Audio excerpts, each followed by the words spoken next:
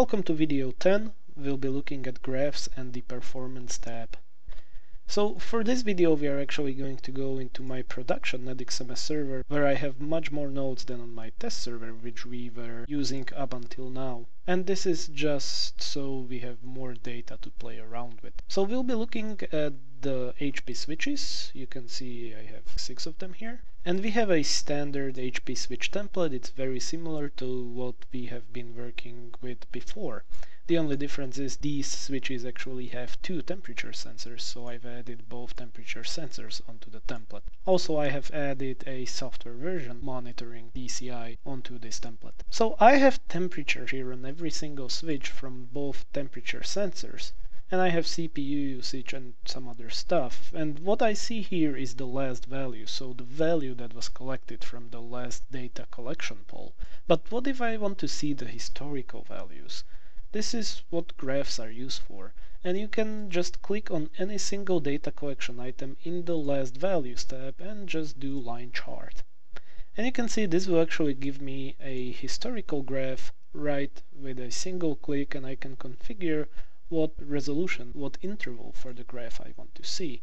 So if I do one day you can see that the CPU usage for this switch has been pretty good with an average of about 5% and a maximal spike to about 18.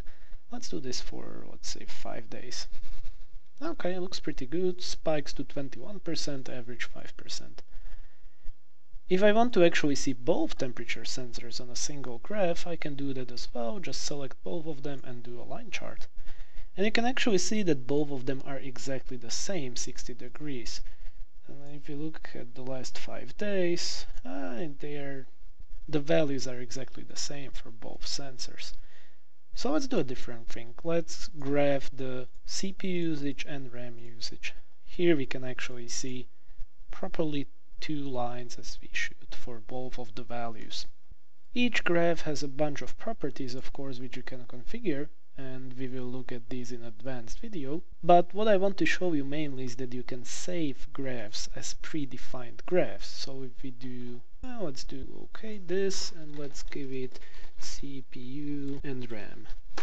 So now if I go into the graphs view, I can see a pre-saved graph right here with my values, just double click and there we go. One thing which I do want to show you though is that you can actually create a structure inside of predefined graphs by using this syntax.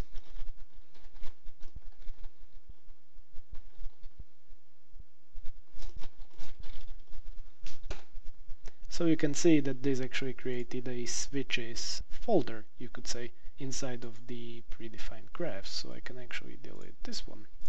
And now I could organize my predefined graphs in any way that I actually want. As I mentioned, we will look at advanced graph properties in an advanced video, but in this video I also want to show you the performance tab. So ideally, if I have many switches like this, if I have six switches and I want to see temperature graphs for all of them, I could make a predefined graph or I could go into every single one and click, etc.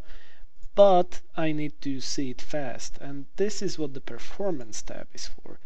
You can see I already have a single graph on the performance tab defined, which is the latency graph. And now if I just click or change the node, I can see the latency graph for that node right away.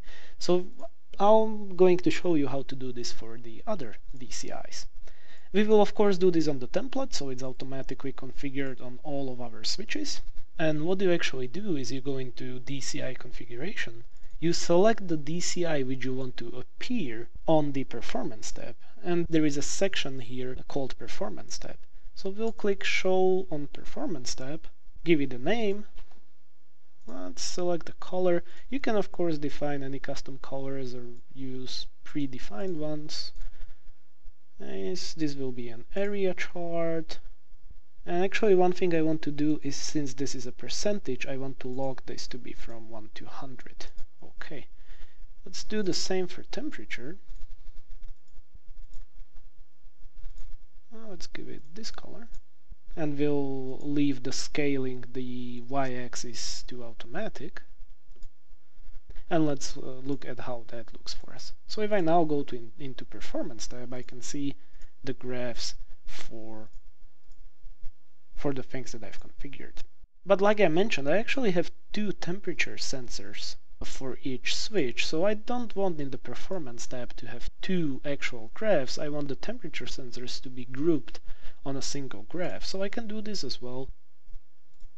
I don't even have to give it a title or anything else, I will simply attach it to another DCI, so I will attach temperature 2 to temperature 1.